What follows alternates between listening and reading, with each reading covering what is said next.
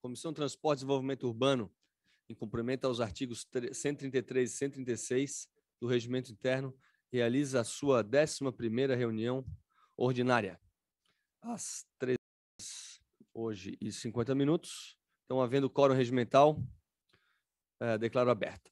A discussão e votação da ata da décima reunião ordinária. Coloco em discussão. Os deputados que não, que não ninguém a discutir, os deputados que concordam permanecem como se encontram, aprovado. O deputado mais importante da comissão, o deputado Marcos Vieira, tem três projetos a relatar.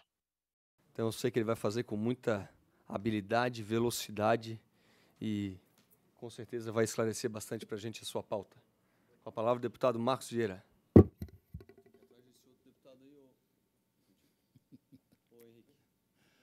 Eu quero, de forma muito respeitosa, é, cumprimentar o deputado Joamin, é, presidente da comissão, é, cumprimentar o deputado Mioso, que substitui hoje o deputado Milton Alves, o deputado Ivanatos.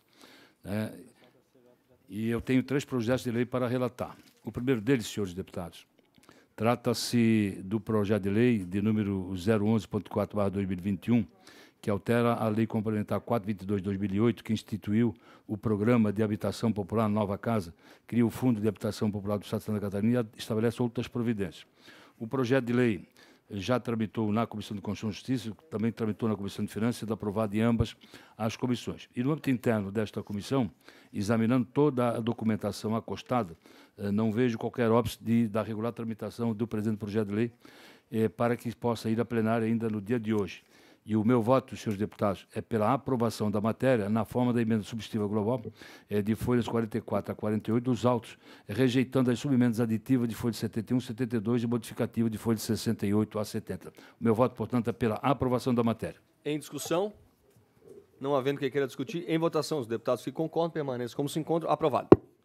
Ainda tenho, senhor presidente, eh, para apresentar o relatório e voto ao projeto de lei 0304.3/2021, que institui, que inclui ao anexo 1 da Lei 16.720 de 2015, que consolida as leis que dispõem sobre a denominação de bens públicos no âmbito do Estado de Santa Catarina, para denominar uh, Reis Schultz, o elevado do o elevada duplicação das rodovias Hans-Dieter Schmidt e Edgar Meister, construídos sobre a, a, rodovia Dona Francisca, no município de Joinville. O autor da matéria é o deputado Fernando Krering. E da mesma forma, senhor presidente, como anterior, verificando toda a documentação acostada, também constato que não há óbice para regular a tramitação. E o meu voto é pela aprovação da matéria, nos termos da emenda substitutiva global aprovada e acostadas as folhas 13 e 14 do presente projeto de lei. Deputado Marcos, o Schulz eu posso até errar, mas o Heinz eu não posso errar, porque eu sou Heinzen. Com certeza. É só a diferença de plural com singular, né?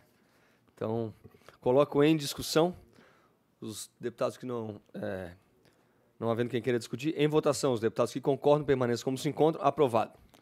Ainda e por último, faço o relatório e voto ao projeto de lei 0151.4/2019, que institui o programa Trânsito nas Escolas da rede pública e privada do Estado de Santa Catarina e adota outras providências. Também o autor da matéria, o eminente deputado Fernando Crele. E da mesma forma como os dois anteriores, verifiquei toda a documentação acostada e o meu voto é pela aprovação da matéria com a emenda substitutiva global de folhas 25 a 30, aprovada na Comissão de Constituição e Justiça.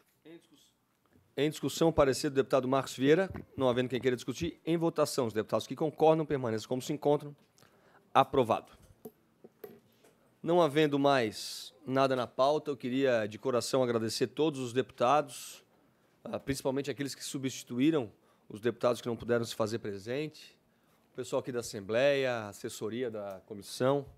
De coração, obrigado mesmo por tudo que aconteceu em 2021 e nos vemos novamente em 2022, se Deus quiser. Um Feliz Natal e um ótimo Ano Novo. Obrigado.